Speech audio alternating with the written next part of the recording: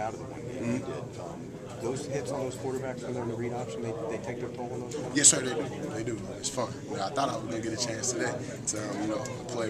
I was going to get a chance. You know, when they this zone read scheme, it's usually like right at the mesh point. The quarterback keeps the ball. I thought I was going to get a shot today, but I didn't. Yeah, there aren't as many hits in that as you think there would be. Is that something they're going to become? You think as you figure it out more? Yeah, I think um, you know, defenses will get better against them.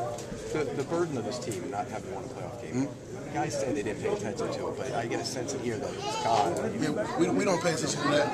Um, obviously, you know, we hadn't won in the playoffs. So that's all our focus was to come in today and get a win. But ultimately, we set our goal. On to the next one. What was it like watching the, the drive, the, you know, Matt's drive at the end? It was awesome, man. Anytime, anytime you can see one of those type of drives like that, game-winning drive, it's gonna be fun. And we believed as a team, and you know, it was a surprise to us. Were you on the sideline yelling and hooting and hollering, or what, what was your perspective? Get ready for the next play because you had eight seconds left, and we had to go out there and defend it close. Bro, when when they get the ball, you, you guys get a touchdown. What's the thought process? And like, Close them out. Close them out. You know, we did, our offense did a great job of getting us up, and we got to finish the deal. You know, bringing in, we even brought in Julio. and uh, Julio made a great play, and um, I think that's something that you know you have to do. You have to finish the game. You got to close it out. how, how does it feel, man? I mean, I, I know you guys are downplaying it, but come on, man. It's good to get a win.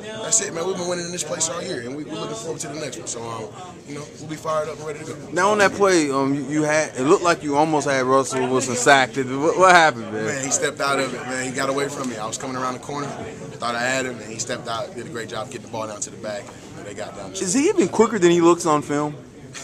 I don't know, man. I mean, he's pretty quick. He's a quick guy, but I think the guy we're playing this week is, is, is quicker because he's a long strider and you know he covers a lot of ground.